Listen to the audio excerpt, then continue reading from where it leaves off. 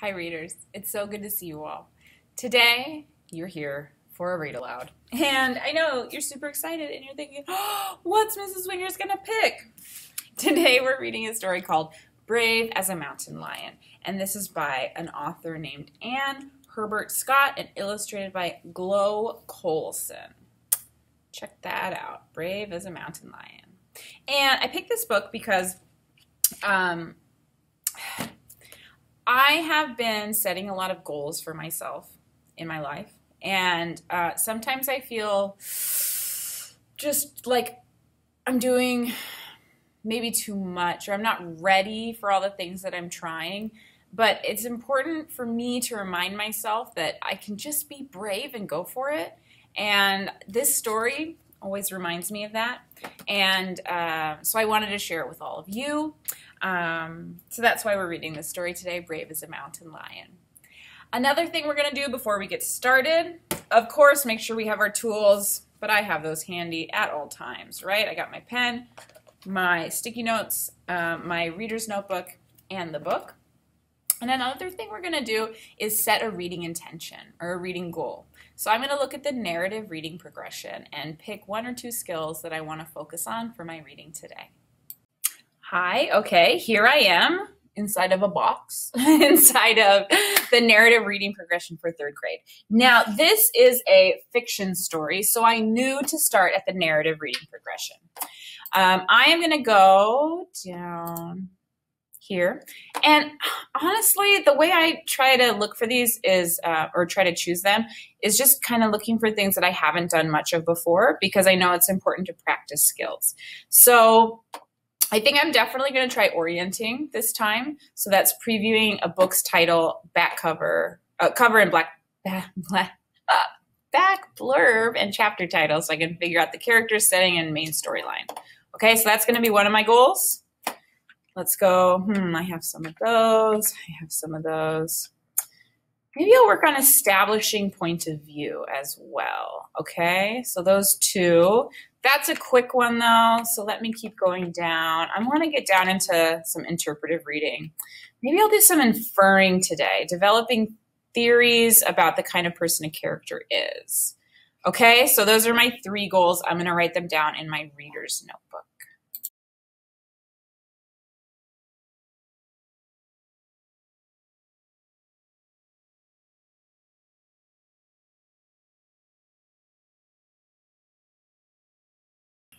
So since one of my goals is orienting, and I know that that has to happen before I even open the book, I'm going to go ahead and do that now.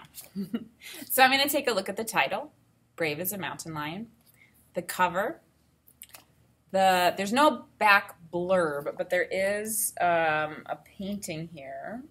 Looks like a mountain lion, I would assume, right? At first I thought it was a dog, but now that I see the picture and then I think about the title, Brave as a Mountain Lion, that must be the mountain lion. But then I'm also looking at the cover here and I see it's a kid, looks like he's on a stage. There's uh, lots of people in the audience. So I'm thinking the brave is this kid needs to be brave for some sort of event, I, maybe like a competition or a theater performance or um, I don't know. That's kind of my guess. Um, I can take a look here. Looks like it's a, in a place that snows. There's horses.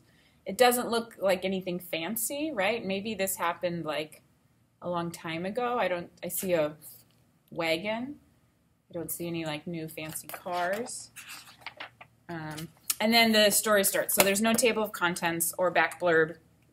Um, but I do have a pretty good idea about what the story is going to be about. I think, you know, some kid has to do some thing and he's nervous, but he needs to be brave as a mountain lion. I'm going to write that down to get some proof that I'm working on this skill.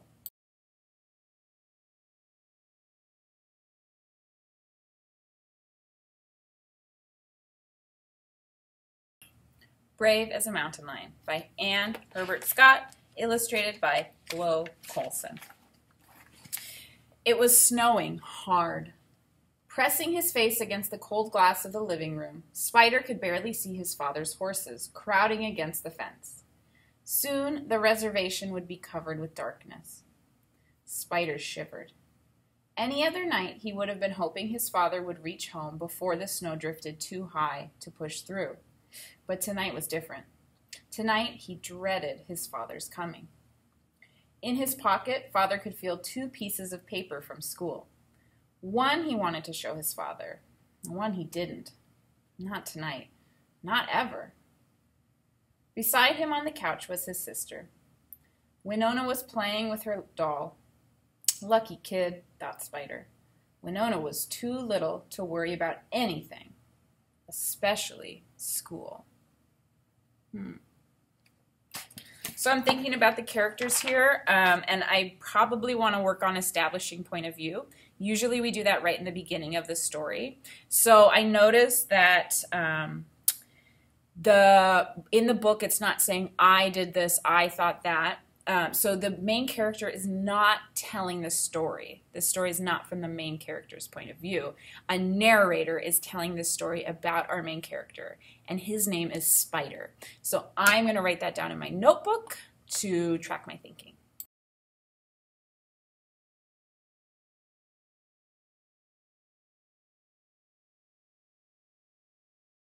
Just then, Spider saw the blinking red lights of the snowplow clearing the road beside their house. Right behind came his father's new blue pickup. Spider sighed. At least Dad was home safe. Now the trouble would begin. Winona ran to the back door, but Spider stayed on the couch, waiting. From the kitchen, he could smell dinner cooking, his favorite, deer meat. But tonight, he didn't even feel like eating. Soon he heard the sound of his father and his brother Will stomping in the snow from their boots. Spider's father came in with an armful of mail from the post office. He hung up his hat and jacket on the pegs by the kitchen and stretched out in his favorite chair. Okay, two things going on in my mind. One, I want to write down the character names just so I can keep them track keep track of them. And two, I'm wondering why is Spider so scared? This is like something I'm really wanting to figure out. So I'm going to make two sticky notes, one for characters, one for the question.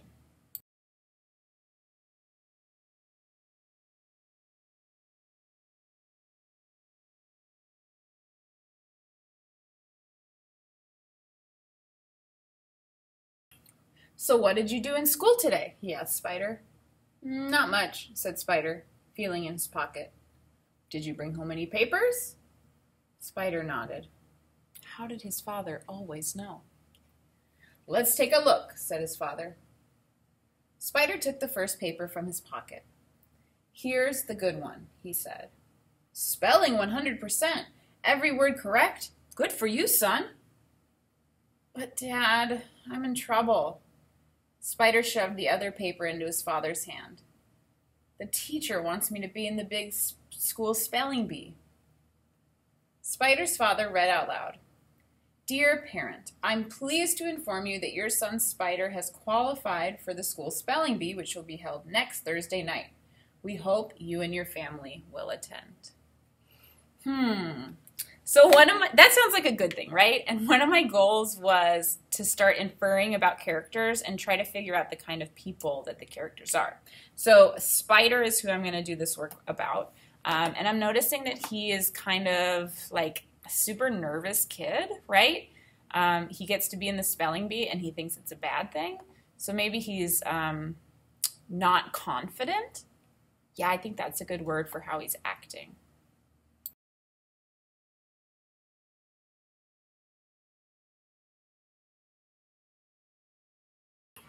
Spider's mother and grandmother came in from the kitchen with the platter of deer meat and bowls of beans and corn for dinner. That's a good report, little brother, his grandmother said, smiling. But I won't do it, said Spider. Why not? asked Will. I'm too afraid, said Spider. But you're a brave boy, said his father. Why are you afraid? Dad, said Spider, you have to stand up high on the stage in the gym, and all the people look at you.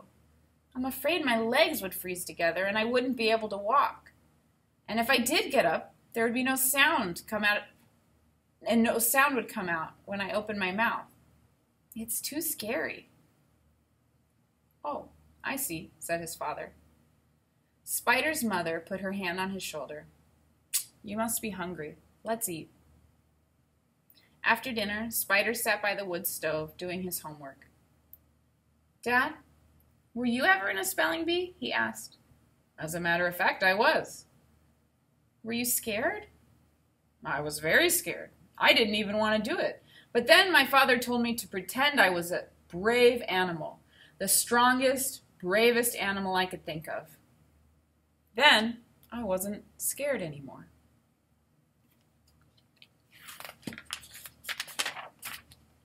Later, Spider sat up in bed thinking of the animals who weren't afraid of anything. Above his head hung the picture of a mountain lion his dad painted for him. How about a mountain lion, the king of beasts? Spider took his flashlight from under his pillow and shined it shined its beam on the face of the great wild creature. Brave as a mountain lion, he said to himself in a strong voice. Brave as a mountain lion, he repeated in his mind as he was falling asleep. I'll try to be brave as a mountain lion, he whispered to his father the next morning as he brushed his hair for school. Okay, I'm noticing a few things about the character and how maybe his character traits are changing. I want to add those to my list. So I've added he's curious because he's asking a lot of questions to his dad. He's seeking help, so he's the kind of person that would ask for help. And then he's also willing. He showed he told his dad he's going to try it. Um, he's willing to try some new things. At recess the next day, Spider peeked into the gymnasium. The huge room was empty. He looked up at the mural painting of the western Shoshone people of long ago. They were the brave hunters of deer and antelope and elk, just as his father and his uncles were today. At the far end of the gym was the scoreboard with the school's emblem, the eagle. Every Saturday in the winter, Spider and his whole family came to cheer for Will and the basketball team. Those players weren't afraid of anything. Then Spider stared up at the stage. That's where the spellers would stand. He could feel his throat tighten and hear his heart thumping, bumpity, bumpity, bumpity, bump. How could he ever get there, get up there in front of a room full of all the people? Spider ran outside, slamming the gym door behind him.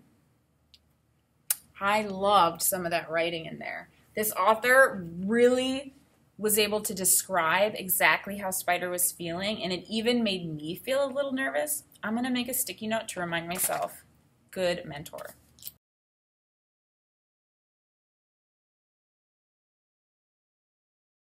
That afternoon, it was still snowing. At home, Spider found his grandmother beating a hat band for his father's birthday. Spider watched her dip her needle into the bowls of red and black and white beads. Grandma, were you ever in a spelling bee? No, I never was, his grandmother answered. Are you thinking much about it? All the time, said Spider. What's the worst part? Being up on stage with all the people looking at you? Oh, that's easy, said his grandmother. You can be clever, clever as a coyote. The coyote always has a trick, some trick to help him out of trouble. When you're up there on the stage, you don't have to look at people. You can turn your back on them and pretend they aren't even there. In, that, in bed that night, Spider pulled the covers over his head. Brave as a mountain lion, clever as a coyote, he kept repeating to himself as he fell asleep. Well, I am going to pause here I've left a little cliffhanger for you. What is going to happen to Spider at the spelling bee? We will find out on the next video. Um, I'm still taking notes, but I feel like I've definitely done a good job with my orienting and establishing a point of view. So when I pick up this book to read next time, I'm going to pick up some new goals um, from the learning progression. Okay, I will see you later. Bye.